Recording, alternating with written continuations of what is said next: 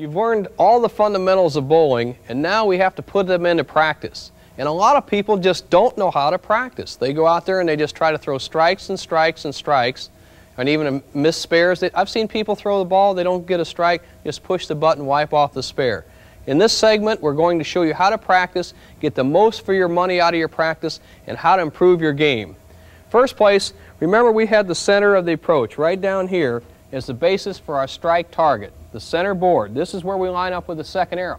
But all of us know that you cannot play every lane right down the second arrow. Some lanes are outside, some lanes are inside. The outside lane being somewhere around the first arrow, the inside trajectory someplace around the third arrow. You must practice all three of these types of shots in your practice session. So I recommend after you warm up 8 to 10 shots, just like a baseball pitcher, when they pull somebody out of the bullpen, they just don't grab him out of the dugout and say, here, go in and pitch. They let him warm up for a while. Same way in bowling. Get to league a little earlier or your practice session, warm up 8 or 10 shots before you go full throttle. Then we'll practice the outside shot. From your basic starting position in the center, move approximately 10 boards to the right and line up over the first arrow and throw a harder shot straight down.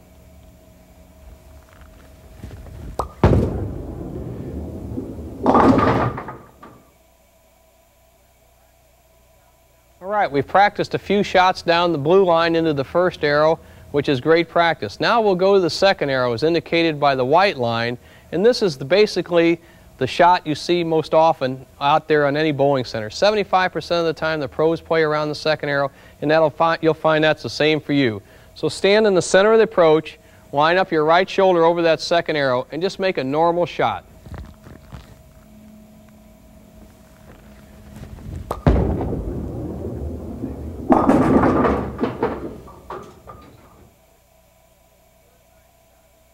And the third type of shot you should practice is the inside shot around the third arrow as indicated by the red tape leading to the arrow.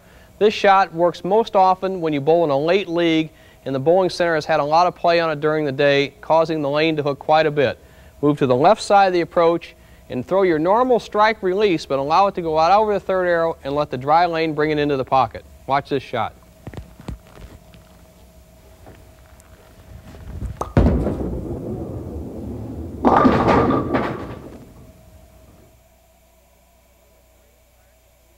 One of the greatest practice vehicles there is is to shoot the 10 pin first and then go for the full rack. Now I mean that. Shoot the 10 pin first, then shoot for the pocket. What this does is increases your accuracy and your discipline and it still allows you to shoot for a strike ball in the second shot. Watch what I mean.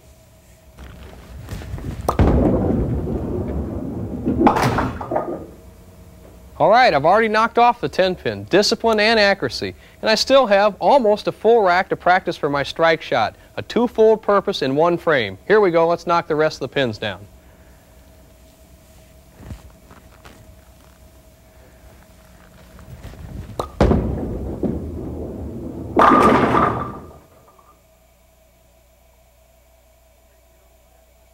You can make your own checklist for practice, but try the ones I've recommended. 8 to 10 warm-up shots before you really try to turn it on.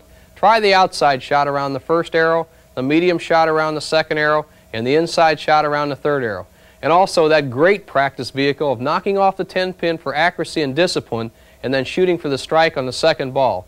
And finally, when you're in league play, watch your fellow competitors and watch your own teammates. Many times they'll show you the proper strike line, especially when one of them's red hot.